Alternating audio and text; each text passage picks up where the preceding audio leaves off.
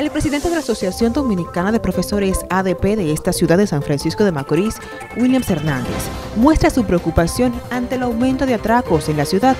Llama a unificar esfuerzos para contrarrestar el flagelo.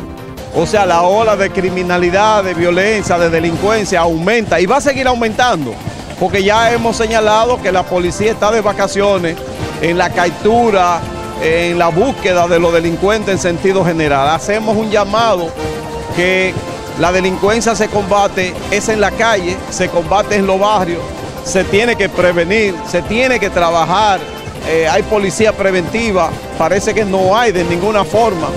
Enfatizan la necesidad de dejar que sean las autoridades policiales y judiciales las que apliquen las leyes.